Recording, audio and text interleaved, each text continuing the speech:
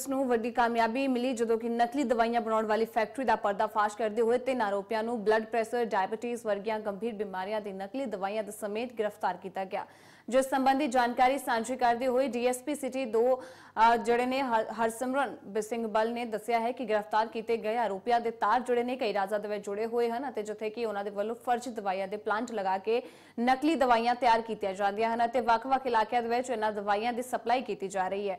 ਗ੍ਰਿਫਤਾਰ ਕੀਤੇ ਗਏ ਆਰੋਪੀ 3 ਦਿਨ ਤੇ ਪੁਲਿਸ ਰਿਮਾਂਡ ਦੇ ਵਿੱਚ ਹਨ ਤੇ ਇਹ ਦੌਰਾਨ, ਇਸੇ ਦੌਰਾਨ ਜਿਹੜਾ ਹੈ, ਰਿਮਾਂਡ ਹੋਰ ਵੀ ਵੱਡੇ ਖੁਲਾਸੇ ਹੋਣ ਦੀ ਉਮੀਦ ਜੁੜੀ ਹੈ, ਦੱਸੀ ਜਾ ਰਹੀ ਹੈ।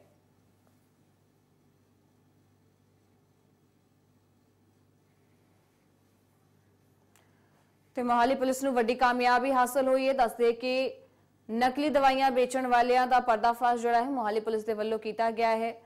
ਤੇ ਤਸਵੀਰ ਤੁਸੀਂ ਦੇਖ ਸਕਦੇ ਹੋ ਪੁਲਿਸ ਰਿਮਾਂਡ, ਤਿੰਨ ਦਿਨ ਦੇ ਪੁਲਿਸ ਰਿਮਾਂਡ ਦੇ ਵਿੱਚ ਨੇ। ਥਾਣਾ ਆਈਟੀ ਸਿਟੀ ਦੇ ਪੁਲਿਸ ਨੂੰ ਜਿਹੜਾ ਹੈ ਇਹ ਵੱਡੀ ਕਾਮਯਾਬੀ ਹਾਸਲ ਹੋਈ ਹੈ। ਵੱਖ-ਵੱਖ ਰਾਜਾਂ ਦੇ ਵਿੱਚ ਨਕਲੀ ਦਵਾਈਆਂ ਦਾ ਜਿਹੜਾ ਹੈ ਇਹਨਾਂ ਦੇ ਵੱਲੋਂ ਪਲਾਂਟ ਲਗਾਇਆ ਗਿਆ ਸੀ, ਜਿੱਥੋਂ ਕਿ ਸਪਲਾਈ ਕੀਤਾ ਜਾ ਰਿਹਾ ਸੀ ਨਕਲੀ ਦਵਾਈਆਂ ਤੇ ਡਾਇਬੀਟੀਜ਼ ਬਲੱਡ ਪ੍ਰੈਸ਼ਰ ਵਰਗੀਆਂ ਗੰਭੀਰ ਬਿਮਾਰੀਆਂ ਦੀ ਨਕਲੀ ਦਵਾਈ ਜੋੜੀ ਹੈ ਇਹਨਾਂ ਦੇ ਵੱਲੋਂ ਸਪਲਾਈ ਕੀਤੀ ਜਾ ਰਹੀ ਸੀ, ਜਿਸ ਦੇ ਵਿੱਚ ਕਿ ਮੋਹਾਲੀ ਪੁਲਿਸ ਨੇ ਵੱਡੀ ਕਾਮਯਾਬੀ ਹਾਸਲ ਕੀਤੀ ਹੈ। ਦਵਾਈਆਂ ਦੇ ਸਮੇਤ, ਨਕਲੀ ਦਵਾਈਆਂ ਦੇ ਸਮੇਤ ਜਿਹੜਾ ਹੈ ਦੋਸ਼ੀਆਂ ਨੂੰ ਗ੍ਰਿਫਤਾਰ ਕਰ ਲਿਆ ਗਿਆ ਹੈ।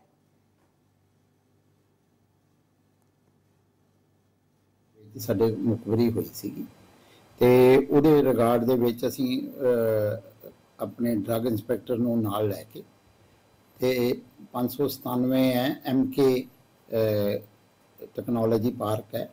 ਉਹਦੇ ਵਿੱਚ 597 ਨੰਬਰ ਕੋਟ- ਉਹ ਸੀ ਜਿਹੜੀ ਕਿ ਗੁਰਨਾਮ ਸਿੰਘ ਦੀ ਫੈਕਟਰੀ ਹੈ ਤੇ ਇਹਨਾਂ ਨੇ ਹਰਪ੍ਰੀਤ ਚੌਧਰੀ ਵਗੈਰਾ ਨੇ ਸ਼ਿੰਦਰਪਾਲ ਅਹ, ਸ਼ਿੰਦੇ ਨੇ ਤੇ ਉਹਨਾਂ ਲਈ ਹੋਈ ਸੀਗੀ ਤੇ ਉਹਦੇ ਚ ਜਾਲੀ ਦਵਾਈਆਂ ਬਣਾਉਂਦੇ ਸੀ ਥੈਲਮਾ ਤੇ 13000 ਅਹ, ਆਪਣੇ ਟੈਬਲੇਟਸ ਅਸੀਂ ਉਹਦੀਆਂ ਕਵਰ ਕੀਤੀਆਂ।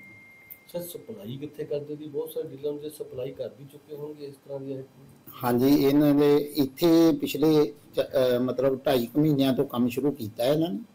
ਤੇ ਇਹਦੀ ਅਸੀਂ ਇਹਨਾਂ ਨੂੰ ਮੁਲਜ਼ਮਾਂ ਨੂੰ ਤਿੰਨਾਂ ਨੂੰ ਗ੍ਰਿਫਤਾਰ ਕੀਤਾ ਹੈ ਸ਼ਿੰਦਾ ਸਿੰਘ ਨੂੰ।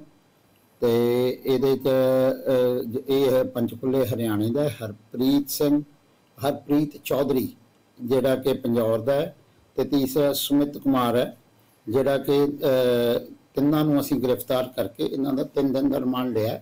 ਇਹਦੇ ਚ ਵੱਡੇ ਖੁਲਾਸੇ ਹੋਣ ਦੀ ਉਮੀਦ ਹੈ ਸਾਨੂੰ ਤੇ ਕੱਲ ਹੀ ਕੋਰਟ 'ਚ ਪੇਸ਼ ਕੀਤੇ ਸੀ ਸਰ ਇਹ ਪਤਾ ਲੱਗਿਆ ਕਾਹਦੀਆਂ ਦਵਾਈਆਂ ਸੀ ਜਿਹੜੀਆਂ ਇਹ ਬੇਸਿਕਲੀ ਲੋਕਾਂ ਦੀ ਜ਼ਿੰਦਗੀ ਨਾਲ ਖਿਲਵਾੜ ਕਰਦੇ ਆ ਵੀ ਸ਼ੂਗਰ ਦੀ ਬੀਪੀ ਦੀ ਜਾਲੀ ਦਵਾਈਆਂ, ਮਤਲਬ ਇਹਨਾਂ ਕੋਲ ਨਾ ਕੋਈ ਲਾਇਸੈਂਸ ਸੀ, ਨਾ ਕੋਈ ਇਹਨਾਂ ਦੀ ਕੋਈ ਫਰਮ ਰਜਿਸਟਰ ਸੀ ਤੇ ਇਹ ਜਿਹੜੀਆਂ ਟ੍ਰੇਡਮਾਰਕ ਦਵਾਈਆਂ ਜਿਵੇਂ ਉਹਦੇ ਵਿੱਚ ਹੈ ਕਲੈਵੀ ਥੈਲਮਾ ਟ੍ਰਿਪਸਨ ਤੇ ਮਟੀਰੀਅਲ ਲੂਜ਼ ਪੈਕਿੰਗ ਵੀ ਸੀਗੀ ਤੇ ਪੈਕਿੰਗ ਪੈਕਿੰਗ ਮਟੀਰੀਅਲ ਵੀ ਸਾਨੂੰ ਮਿਲਿਆ। 20 ਕਿਲੋ ਸਾਨੂੰ ਇਹਦਾ ਲੂਜ਼ ਉਹ ਵੀ ਮਿਲਿਆ ਜਿਹਦੀਆਂ ਇਹ ਗੋਲੀਆਂ ਬਣਾਉਂਦੇ ਸੀ।